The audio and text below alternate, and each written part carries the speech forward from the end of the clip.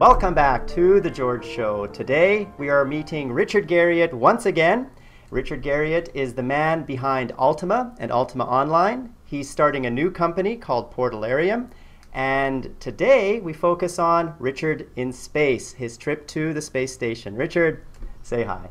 Hi again. Welcome back again, or thank you for having me back again, I should say. Guys, if you want to see the previous episodes, there's a link above the video as well as in the description below. In part one, we talked about Ultimate Collector, Richard's new game on Facebook. In part two, we talked about Ultimate RPG, Richard's new up and coming game, which is the spiritual successor to Ultima and Ultima Online. And today we talk about Richard in Space. Richard, please share with us, for the few who don't know, what happened? How come you went into space? Yeah, you know, it's funny uh, uh, when people hear about my kind of dual careers or activities in computer games and space. They some some people go like, you know, what? What? How are these things related? And uh, and I look at them as extraordinarily related. Um, yeah, first of all, uh, just in a general sense, I, I'm a big believer that. Um, you know, my passion for creating and living in, in and exploring virtual worlds is highly intercoupled with my personal passions for exploring the reality in which we live. Uh, right. Uh, everything from the physical surface of the earth to the deep oceans to, frankly, history and books, uh, uh, as well as, of course, uh, you know, outer space. And uh, but space in particular, not only is it a you know a pinnacle exploration to go on for anyone. Uh, but I happen to have a, a, personal history with it that, that uh, predates gaming uh, fairly significantly. Mm. in particular, my father was a NASA astronaut starting uh, when I was six years old. he became an employee of NASA, and we lived right outside the front gates of NASA. my my father flew twice to space, first in 1974 aboard Skylab, and then in '84 on the space shuttle. Uh, and so I grew up, uh, you know, not only with that as my, you know, father figure home inspiration, but literally both my left and right hand neighbors were also astronauts. Wow. And in the blocks surrounding my home were almost all the other Apollo era astronauts and their families and children. So I just grew up believing everybody goes to space because everybody in my neighborhood did go to space. And so um, uh, for me, it was a big shock when at the age of about 13, I was told that because I wore glasses, I was no longer eligible to be a NASA astronaut. Uh... And well, before that, I would have never said when I grew up on being an astronaut. Starting at that day, I said, well, you know, who is that doctor to be the gatekeeper to space? I'm going to invent civilian spaceflight and uh, therefore take myself to space. And at the age of 13, that didn't sound that hard. Uh, of course, it was very hard. Uh, many failed attempts along the way. Uh, but then eventually, uh, we I got together with a group of entrepreneurs. We started something called the X Prize, uh, Zero G Corp, Space Adventures. Uh, and with Space Adventures, we finally uh, convinced the Russians to fly private citizens into space. And ultimately, that's how I made my trip. And so in October of 2008, I became the 483rd person to leave the Earth when I went, launched aboard a Russian Soyuz rocket and lived aboard the International Space Station for two weeks. Would you? Uh, how many other people? Were there any other commercial, uh, like tourists going into space before you? So my company arranged uh, for there. There have been seven private citizens who have flown to space. Uh, my company sent all seven. Uh, of my company's clients, I was client number five and uh, uh, excuse me, not client number six, because uh, Charles Simonyi went twice, once before me and once after me. he went twice. Uh, he couldn't twice. get enough the first time. Wow. Exactly. but uh, but I was actually scheduled to be the number the first client. I, I mean, I built this company so I could right. go. You get, and, yeah. Uh, but sadly, the first ticket that we had arranged, which was originally going to be my flight, is also right as the 2001 stock market crash occurred, and so with that crash disappeared my uh, personal wealth, and so I, I had to sell that seat to a guy named Dennis Tito, who became the first private citizen to fly himself into space. And I had to go build another company, sell another company, and then finally went in 2008. You had to go back and work to earn the revenue, money to go back into space. That's that's that's amazing. Well, you know, what's, what's funny too. You think about it now, you go like, it's it's funny. I have. Um, uh, you know, people, you know, I've been in this industry, uh, the computer game industry for 30 years, and people go like, you know, you know why are you still doing it? Right. And I'm going like, well, really, on the one hand, I am still exceptionally passionate about games. I mean, there's no way I'd be doing it if I wasn't truly impassioned right. about games, and I really am now a bigger gamer than I ever been in any other previous time in my life. Uh, however, also I still have this passion for space, and space is not cheap. And so I really I feel I feel the need to work also just because I have all kinds of fun things I want to do in space still. For example. Um, uh, one of the capabilities that's coming online right now too is suborbital space vehicles, uh, and uh, with this other organization I mentioned called the X Prize. Uh, with the X Prize, we uh, put together a $10 million prize for the first private company to uh, fly a vehicle twice into space in two weeks, oh. hoping to open up a new industry of suborbital vehicles. that prize was won in 2004. Uh, Virgin Galactic is now buying those those vehicles, and those will hopefully be flying in about a year. But there are wow. some others flying. Like my favorite is being uh, built built by another uh, computer game guy, uh, John Carmack, the guy that wrote Doom and uh, Quake.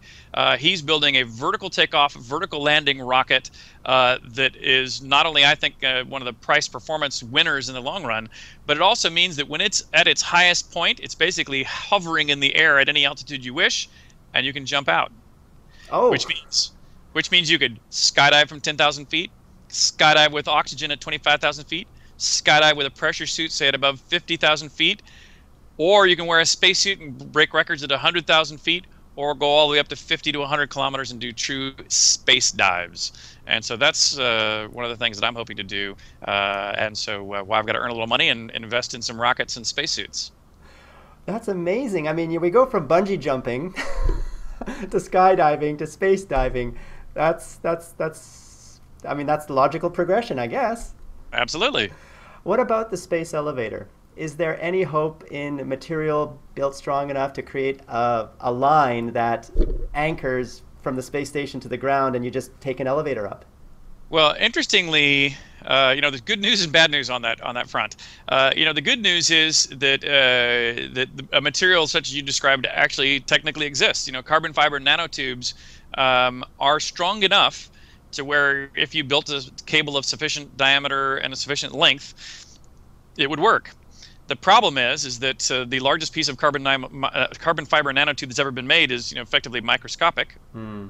And worse yet, even if you could build it at, I don't even know what the diameter would be, but if you could build it at the diameter that would be required, the length that we're talking about to go to a geosynchronous satellite is so long that just the mass of it would be, you know, I don't even know exactly what the multiple would be, but I'll, I'll estimate it, you know, a thousand or ten thousand times more mass than has ever been launched into space in the history of humanity. Right. Beyond that, if it were to ever fail during the deployment, it would wrap around the Earth many, many times, destroying everything that it uh, encountered uh, along its uh, collapse. Uh, and so the probability of it happening anytime soon is, you know, it, it's so far into the future, if ever, that it's it's not worth uh, holding your breath for. Right. but mathematically, most things that that most most things that are provably mathematically provable mathematically eventually come to pass, uh, but no time soon in this case. So the same thing is true for like uh, you know wormholes. You know mathematically they theoretically exist, uh, but you know to keep one open for a fraction of a second requires the energy of the destruction of a star, and so uh, you know it's just not gonna you know those are just not likely uh, anytime soon. Science fiction for now. For now. So a little bit more about the personal experience of you going into space. Uh, can you give uh, the viewers a little taste of the training that was required for you before you could go into space, as well as the actual flight from the moment the rocket engines fired off and you were you were moving? Yeah, you know it's um, it's really amazing that uh, the training aspects, which you might think would be work, um, were really um, an ama- were amazing unto themselves. Uh, I spent about a year in Russia, about three weeks out of every month in Russia for a year training, uh, because uh, on the Soyuz and on the space station, there's really no, um, uh, you know, tourist seat or uh, places you can uh, hang out. you know, when you're on the Russian Soyuz, there is work there's controls in front of you that you must operate or the, the flight does not succeed I and see. so uh, uh, so there's things you you must master in addition uh, just from a safety standpoint you really want every person on board the ship to be able to at least operate every piece of equipment without hurting it or damaging it or interfering with what other people are doing Right. or having to ask other people how to use it which would take them away from their activities Right. and similarly on board the space station it's really important you know basically what everything does and especially all the emergency equipment and procedures you really need to know them all uh, because again you don't want to be a danger uh, to everyone else uh, on board uh, so i really enjoyed the training the training was phenomenal but what I also found was interesting about it is what it was not. For example, you know, I went to Russia uh, for about a year before I went. I, when I knew I was going, you know, I, I, I trained physically very hard. I was in the best shape I'd been in, you know, since high school when I arrived in Russia to start my training. hmm To discover that I was now actually in much better physical condition than every other astronaut or cosmonaut who was over there training. Really? And so, uh, uh, because yeah, because the physical demands really just aren't anywhere near what I expected them to be oh. and and similarly you know you think of rocket scientists or you know these these uh, you know, astronauts and you know astronauts of course are smart people uh, but you know I'm, I'm a pretty smart guy too and uh, and what I found when I got over there was that the training was much more familiar and pleasant than difficult as I might have expected. For hmm. example if you are a scuba diver everyone who goes and gets a scuba license has to learn about partial pressures of gases and how not to get the bends when the pressure goes from high pressure at depth to low pressure at uh, near the surface. Right. And those same conditions are the case for being in space. I mean, the, you might have a depressurization of the of the vehicle, and you have to manage the gas mixtures of oxygen and carbon dioxide and things on, in, on board. And you're going like, okay, well, that's the training for that. So life support's like scuba diving. Well, then there's all the radio communication gear. Well, if you can get a ham radio license where you learn just basic, simple stuff like how to turn it on and the relationship between frequency and wavelength, which you know isn't that complicated. It's it's high school physics, Right. uh, but anybody in high school can go get a ham radio license. Well, now you can know how to operate all the radios on board the Soyuz spacecraft and on the International Space Station Hmm. et cetera, et cetera, et cetera. And so what, what you'll find is that none of no one subject was uh, you know what I'll call scary or out of line with things that uh, uh, any anyone who's mastered any of the, the fields I just said would would would uh, be intimidated by. Uh, the, the most intimidating actually was uh, language, uh, because uh, on the Russian Soyuz, all the manuals, all the documents are only in Russian. All the instruments are labeled only in Russian. All the commands that come up from mission control are all in Russian. And so uh, the hardest thing by far was learning a new language, which uh, you know I don't know well, but сейчас я знаю русский язык uh, чуть-чуть, uh, a little bit. And so uh, you know I had to learn uh, at least the basics. I but, see. uh, But by the time training ended, I actually was uh, would describe to people that I was uh, you know very content that if the world ended today and I never got to fly, I still felt my time and money were were pretty well spent. Um, but of course, nothing beats the flight. right. The uh, uh, but what's cool about the flight is again where it differs from what you might think. You know, when you think of a rocket taking off, uh, you know, it, it's on the outside, it's loud, it's bright. There's lots of buffeting and vibration that you can feel even just standing, you know, a mile away from the, the launch of a rocket. But on the inside, it's completely different. On the inside of any rocket that has liquid fuel, which means anything other than the solid rocket boosters on the shuttle, any liquid fueled rocket, as the as the engines throttle up, you you eventually cross the point where the thrust is slightly greater than the mass of the rocket. And once the throttle up goes past that point, the rocket barely imperceptibly begins to move up off the launch pad. And so it's not like dropping the clutch on a sports car and off you go. It really is like very it's like an ele- elegant ballet move that lifts you ever faster into the sky. I mean Oh. it's it's extremely serene. It's almost perfectly quiet. It's almost perfectly smooth. It uh, you just rise faster and faster into the sky, and the G forces slowly push you gently into your seat, uh, and it's and and the whole ride you burn all of the mass of the rocket, or 98% of the mass of the rocket, which is all fuel. You burn it in eight and a half minutes. So in eight and a half minutes, you go from sitting still on the ground to the engines cut off, and you're now free floating in space. It's really phenomenal. It's less than 10 minutes to get into space. Yeah, Yeah, very quick. It's Wow. over. It's over before you know it. and uh, uh, and the reentry is sort of the same way.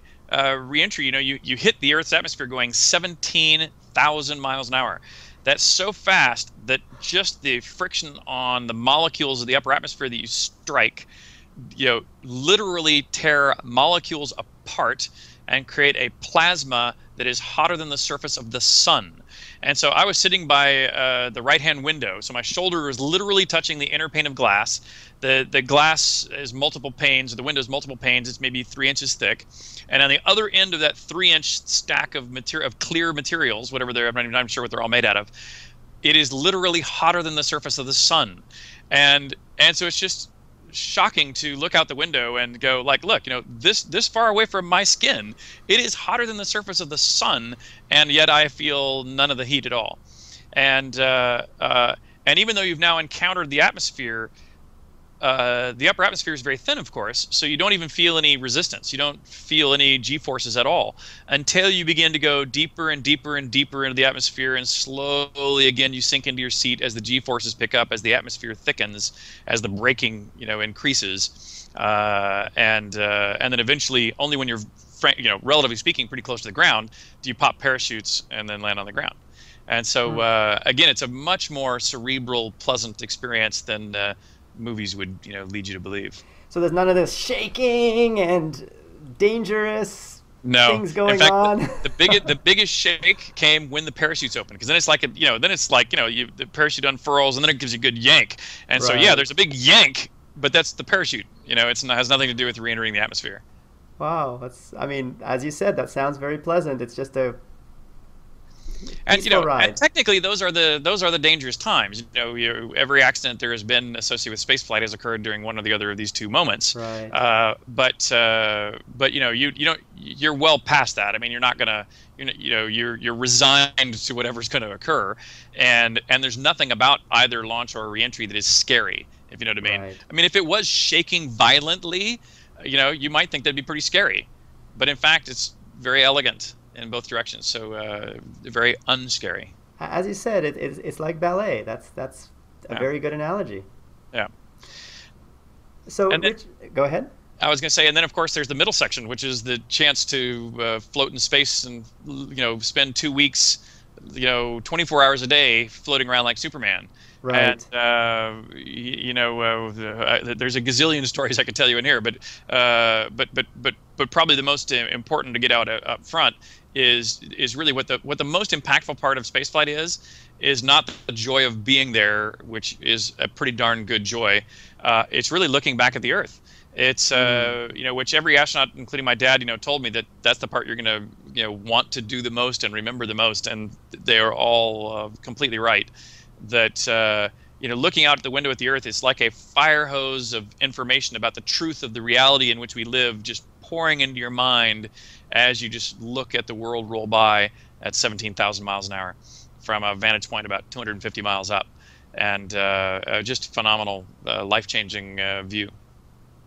Wow. Wait, when you said 17,000 miles per hour, that's to maintain a geosynchronous or orbit? No, no, that's to maintain orbit at all. Oh. Uh, not geosynchronous geosynchronous is much higher. Much you higher. know what's what's interesting about if you know if you had uh, you know a, a, classic children's globe, you know a one foot diameter children's globe. Right. Uh, the space station and anything in low Earth orbit is only about the width of a nickel above the surface of the Earth.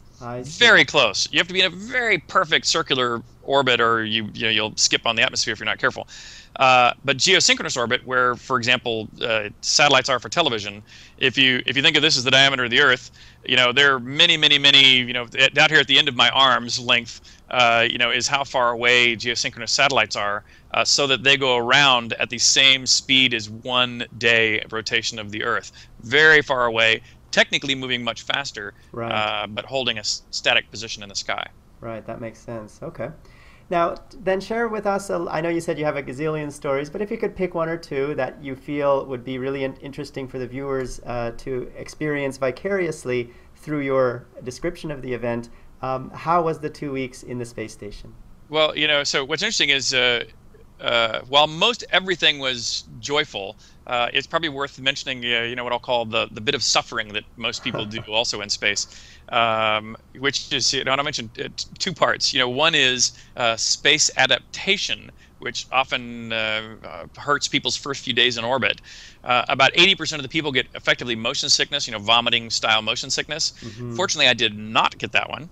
Okay. Um, but I did get the other version, which is called fluid shift, where if you imagine if you were to lie with your head down on a steep slide, you know, you could lie on a children's slide at a park with your head down for a few minutes and you wouldn't notice or care. But if you stayed there for a few hours, you know, you'd begin to feel kind of bloated in your face because right, of the blood, the blood, pooling in your in, your head, and that's sort of the way you feel when you're in space. Sort of the way I, I, I did feel this way in space, and so it gives you a bit of a headache and stuffy nose, and hmm. uh, you know, so it wasn't uh, it wasn't uh, particularly pleasant for uh, two or three days of what I'll call headaches and head cold. But th- that eventually goes away, and you get back to the joy part the other the other kind of funny thing to point out about the the, the other trial and tribulation of uh, of space flight is the bathroom because uh, a zero G toilet uh, is uh, is if I was going to redesign one thing on the space station or space vehicles, it'd be the bathroom. Uh, and and it's and it's uh, it's interesting because gravity is a particularly useful thing when it comes from taking the things that come out of your body into a receptacle uh, to dispose of them. And so, with, without gravity, they try to use things like airflow, you know, basically a vacuum cleaner to kind of pull solids out of the air nearby into a container. But they frankly don't work that well. And so, uh, and so, going to the bathroom in space is a is a true trial that takes you, uh, you know, tens of minutes to uh, power up, utilize, and then safe afterwards the uh, space toilet. I mean, it's the most common thing you wouldn't even think about, but you're absolutely right. That is a very important aspect of humanity, which is removing waste. yeah, and uh, but but then to flip, let me give you one more story. Uh, uh, you know, on what I'll call the positive side. One of the, one of the okay. kind of interesting um, aspects of, of this, which is since since there's no gravity that you feel, um, you there's no real you don't really care which surface you think of as the floor or the ceiling. Right. You know, you're very you're very happy to reorient yourself as needed, and in fact, it's very common that one person will be sitting on what we might call the floor, you know, towards the earth, uh, doing an experiment. And if you need to be in the same room to do an experiment, you'll often just go sit on what you might call the ceiling, and uh, and that way you don't bump heads or take up you know the same floor space because there's right. air all around you and you don't really notice or care. Um, but there's so an interesting side effect of that is, is that you know, as you learn to fly through these spaces, you know, you quickly just cling onto whatever surface you think of as the as the floor for that moment. Right. But it's an interesting mental game you can play with yourself. So what I thought was interesting is that uh, there was a junction in the space station where uh, there was a, a U.S. module that had a T intersection to a Japanese module and a European module. So um, basically a, a large T intersection of school buses. So imagine, you know, school buses with a junction between them, uh, all open to each other. And what I found was fascinating is if you floated in this intersection, and I might, for example, float with my legs facing into one module, my back towards the earth, and my head towards another module, uh, and you would float there. And since I, when you move your body into that position, you have a sense of which direction is the earth. So in your mind you initially almost always think of that as down. Down right. I'm i'm floating with my back down.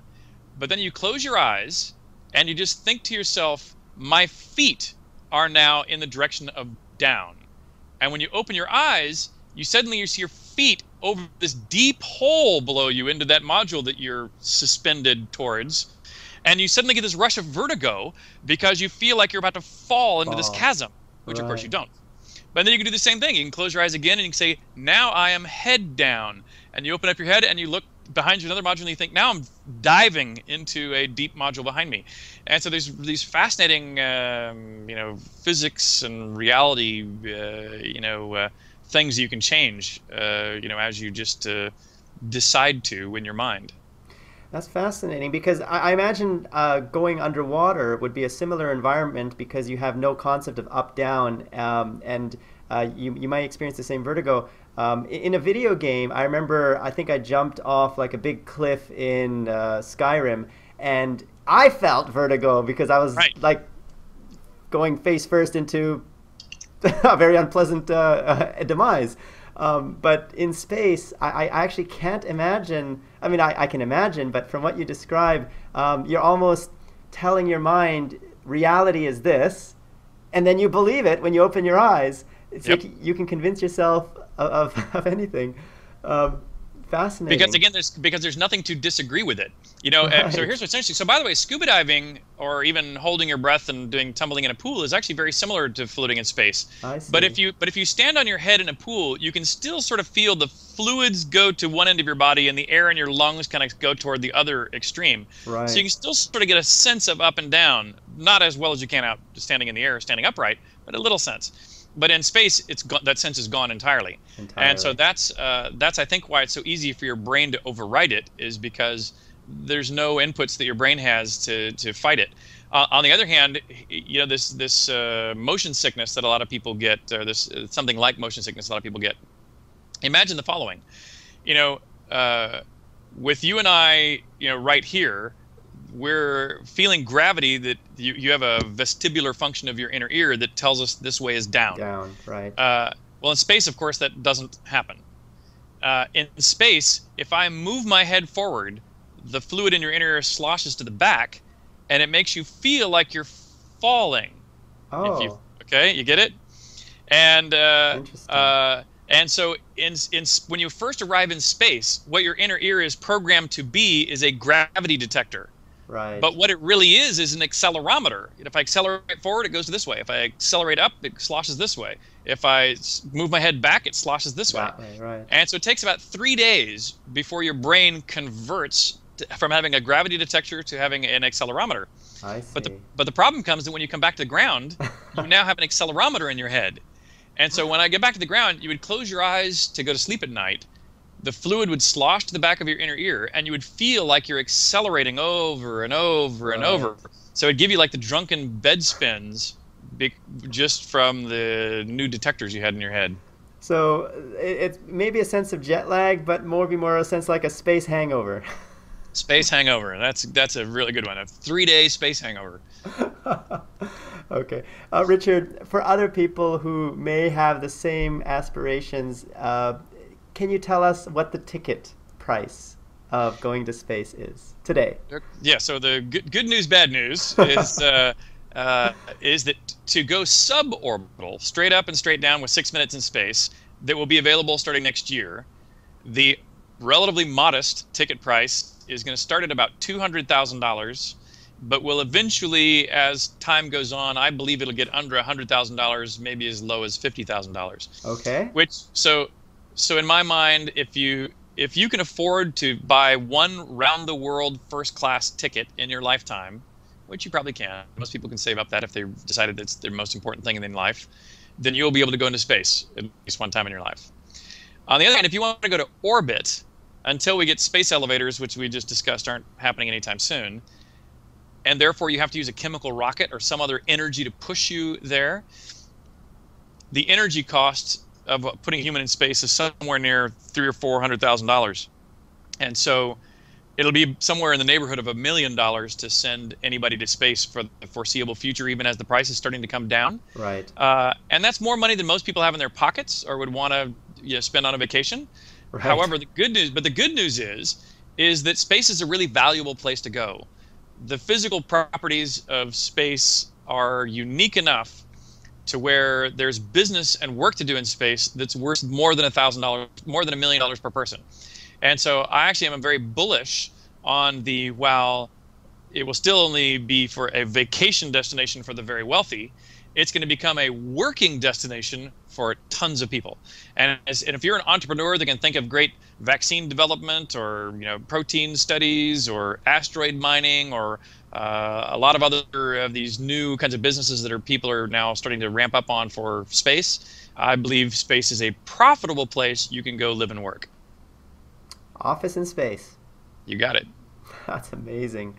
And your own personal uh, trip where you spent two weeks in the station and the other six people, um, what is the price for basically the deluxe package? Yeah, so if you want to go today, so the uh, you know today it's still you know it's it's not cheap, shall we say? Uh, the price today is about fifty million dollars, and that is to do basically what I did, which is uh, to train for six months or more, you know, about about six months nowadays uh, in Russia to prepare for the flight and to fly uh, on the Russian Soyuz, and then spend uh, two weeks uh, or so approximately on the International Space Station. Interestingly, we also this uh, I'm one of the owners of Space Adventures, the company that arranges this, mm-hmm. and uh, uh, and we actually have another very interesting offering, which is we now have arranged with the Russian government to they're building us a specially modified Soyuz to go around the moon and back. Oh. And so we now uh, have a circumlunar flight uh, which can be yours for the mere price of about 150 million dollars. and even though that sounds like you know that it's things are getting worse than better, um, uh, interestingly, we already have one customer signed up for that. Uh, this Soyuz will have uh, one R- Russian commander and then two uh, of our clients on board. so we need to find one more uh, person who is interested enough in going to the moon that they're willing to put up 150 million dollars or so, right? And uh, and then we'll fly a mission to the moon and back. And uh, there's really good odds that the the next visitors to the moon will not only not be NASA astronauts, they also won't be Chinese astronauts or any other government's astronauts. They might be private. Private. Can you tell us um, if someone is interested in signing up for that ticket? Where would they go? Uh, so the, my company that is still today the only uh, company that has sent and can still send uh, people to go live and work in space is called Space Adventures. And so if you just do spaceadventures.com, you can find out more and sign up. All right, guys, and the link to that will be in the description below this video as well. All right, Richard, before we end this final part of our three part interview series, is there anything you would like to share about space, about yourself, or about any of the other two parts before we end? Well, you know, I think that if there's one thing I've learned through my kind of dual careers in computer games and and space, it is uh, you know I, I, think there's there's a reason uh, you know method you know I, there's there's lots of people there's tons of books you can read about how to succeed in business and do well in life you know so to speak. And I think uh, you know there's there's many many paths uh, by which this might work. But I but I at least think I can describe uh, what it is for me um, which is I'm a, a big believer on on first uh, the subject of research. I'm a devout believer of if you're going to step in any, if you're going to make a computer game or if you're going to invent a space company or whatever it is, you really better know the lay of the land as, uh, as good or better than anybody else who's competing for that same right. piece of the pie. Uh, and and strangely, for example, in the computer game industry, I, I, see lots of developers who, who just don't do that. They just go off and they say, "Oh, I like this game. I'm going to fix the thing I didn't like about it, and I'll make my own version, and I'll make a million dollars." And uh, that that rarely uh, is a, a path to true success. Uh, but then the other kind of corollary, another piece of that is, uh, you know, ne- never uh, take no for an answer. Uh, you know, uh, the, the the old adage of you know, if at first you don't succeed, try try again. I'm a believer in, in the, with the following descriptor you know, uh, when I first set off to to break into civilian spaceflight, you know, I, I started by backing ex NASA astronauts. As astronauts would leave NASA and they want to do something privately, I'm going like these guys know the industry. They're really super smart. I should back them. Um, but universally, those didn't work. And uh, and I think in hindsight, it's because uh, those guys are great test pilots, are great scientists, but they're not great uh, politicians in the sense of convincing the government they should do something different than they already are, and they're not necessarily great entrepreneurs to go build a, an entrepreneurial endeavor. Right. Uh, but because I because I believe I knew I could figure out why strategy one did not work, that allowed me to move to strategy two, and therefore not give up and try it again. And if that one fails, as long as you know why it failed and think you can make it even further down the line with strategy three, no reason not to keep going. And uh, and that's why even though it took 30 years uh, ultimately, we've cracked open civilian spaceflight. Even NASA is now com- converting to civilian and commercial support of their endeavors in, of human spaceflight. Mm-hmm. Uh, you know, we've we've helped really. Not only have I succeeded in taking myself to space, but uh, the group of us that did this have truly not only revolution, revolutionized civilian spaceflight in general, but commercial spaceflight in general, also in general, and even NASA's future uh, as well has come along uh, for the ride. So NASA itself is becoming more of a support for the private sector, providing the technology they've researched and basically becoming consultants. Uh, close. I'd even, I would, but I would describe it from the other direction, which oh. is that NASA has already done the what I'll call the hard lifting. They've, uh, you know, uh, some time ago actually, you know, if you look back at the Apollo era, um, the materials to hold cryogenic fuels didn't exist. NASA invented them, but now they're in everyone's air conditioner. The same thing's true for cryogenic pumps and valves didn't used to exist, but now they're again still in your air conditioner. Right. Uh, you know, uh, all these materials and technologies are now reasonably well understood. And so, you know, when you think of like the the Martian rovers, Spirit and Opportunity, and the new one that's about to land, uh, Curiosity, Mhm. everyone thinks of those as a NASA mission because they are. But most people aren't aware that they were not launched on a NASA rocket; those were launched on a commercial booster. Uh, and uh, and while if you think about the space shuttle, the space shuttle wasn't built by NASA; it was built by Boeing. But NASA owned it I and see. what the, and by owning it after Boeing built it, it means that they really kind of stuck with it. They couldn't really change to another vehicle if that one proved to be not what they needed in the future, or not safe enough, or not cost effective enough, because now they owned it, and they were just getting parts from Boeing. Right. Well, what NASA's moving to is they're now going to use just the way they send Spirit and Opportunity and Curiosity. They're going to buy launch services, a launch at a time, for their humans. So SpaceX, which is one of the ones that, I, that, that right now just said they launched uh, Monday, I think, uh, you know, yesterday or the day before. Uh, they're headed to the space station for the first uh, private uh, uh, vehicle to go dock with the International Space Station. Uh, and if they do that for a few times, that NASA will start putting their uh, astronauts on on a private rocket. Well, it, so you know, just like Boeing could have just easily built it as SpaceX, it's just one of the prime contractors. But NASA's not going to own it anymore. They're going to just buy the service, I and that see. means so. If, so if ever they want something more like the shuttle, they can buy one. There's a company called Sierra Nevada that's building a lifting body vehicle that they can also buy when they need it, and it also means my company, Space Adventures, can also buy from SpaceX or can also buy from Sierra Nevada, whereas we could never buy from NASA the shuttle because NASA's not in the business of selling to other people. Right. And so this is a win-win situation for commercial and for NASA. NASA's costs are going to go down. Commercial will now have access to the same vehicles. Uh, it'll be much more competitive and much more open uh, for for everybody. Wow. So the privatization of space becomes an entrepreneur's dream to create services, like you mentioned, so that they could offer a, a better a better deal on, on on on on the components necessary to travel to space. Fantastic. You got it. Wow. Well, friends and viewers, thank you for joining us. This has been George with Richard Garriott, and we'll see you in future interviews. To get the written uh, version of this, go check out stratics.com. They will be featured on that website. And visit our channel on YouTube, youtube.com slash TGN. The links to both are in the description below. Richard, you've been a wonderful guest. Thank you so much. Thanks, George. Pleasure to be here. Take care, guys. 再见. And we're out. This video is part of the Way movement, a career path in video sponsored by TGN. To learn more, visit tgn.tv.